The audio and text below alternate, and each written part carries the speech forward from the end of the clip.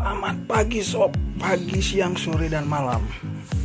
Hari ini saya udah berjanji untuk dari untuk kalian saya akan review kelebihan dari Aerox 155 cc ini tahun 2019 tipe R.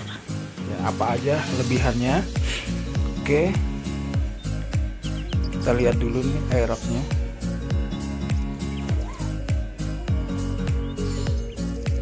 Yang pertama adalah uh, modelnya, ya, modelnya mantap, sporty, sporty habis. Tapi relatif juga sih, tidak semua orang kan suka, tapi saya suka dengan modelnya, sporty. Kenapa saya ngambil Aerox daripada MX? Karena modelnya mantap. Lalu yang kedua adalah ya, tanking uh, ini shockbreaker ya ini bukan tanki shockbreaker ini shockbreakernya udah ada tabung udaranya. Udara apa oli saya kurang tahu. Jadi rebornnya sangat lembut bisa ajrut-ajrutan mantap lah. Tapi kalau sendiri ya pas boncengan juga pas. Ini, ini yang tipe R. Lalu yang berikutnya adalah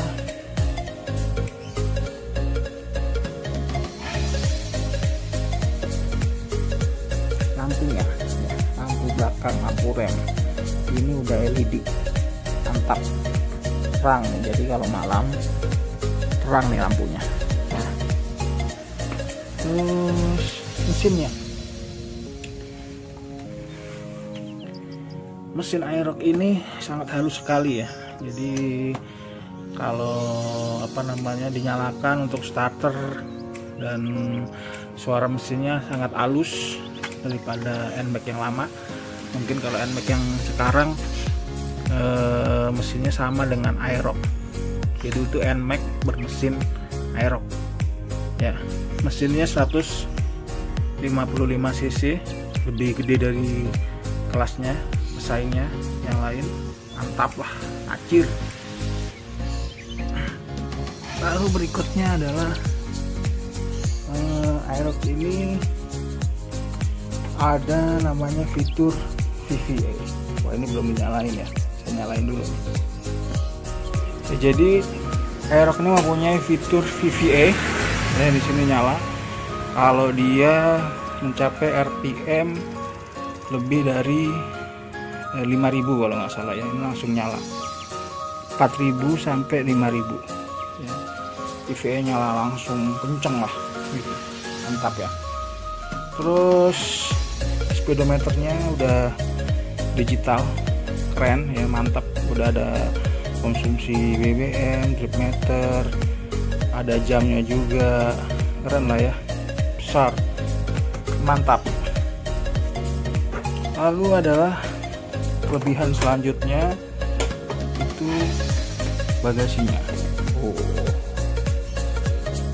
bagasinya luas nih bisa buat naruh belanjaan cukup lah ya buat naruh mantel helm cukup terakomodasi lah gitu ya.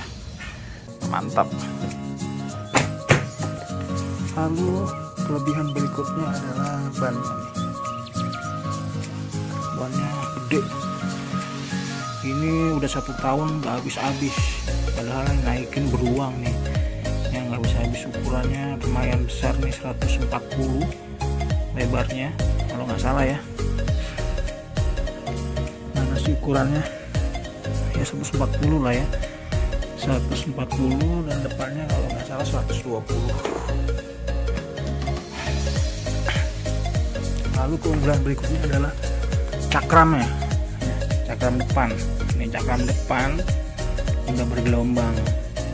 Nah, kalau bergelombang gini artinya cepat untuk mengeluarkan panas jadi tidak mudah slip ya kalau yang tidak tipe, R dia eh, cakramnya ini piringannya tidak bergelombang. Ya. terus adalah lampunya. Lampu depannya ini udah LED terang nih baik malam terang hujan. So far saya pakai tetap terang. Mantap lah bisa ngelihat uh, lubang berjalan. Eh ya lubang berjalan. Jalan berlubang. Terus adalah sennya. Sennya itu masih kuning biasa dan lampu senjanya juga kuning biasa. Kenapa? Padahal sekarang ada LED saya lebih suka warna kuning dua-duanya ini karena lebih kelihatan dari depan maupun dari belakang. Ya jadi nggak nggak nyaru antara lampu utama dan lampu sen ataupun lampu senja. Terus knalpotnya ya? Knalpotnya gede nih mantap. Kayak bazooka saya suka dengan knalpotnya kayak bom karbit. Mantap lah ya. Itu aja mungkin. Kelebihan dari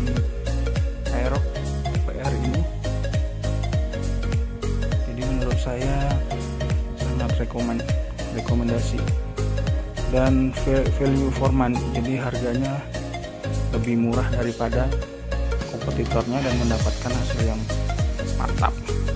Ya itu itu aja review kelebihan dari Aerox tahun 2019 jangan lupa untuk di like di subscribe dan komen di bawah. Oke terima kasih sudah menonton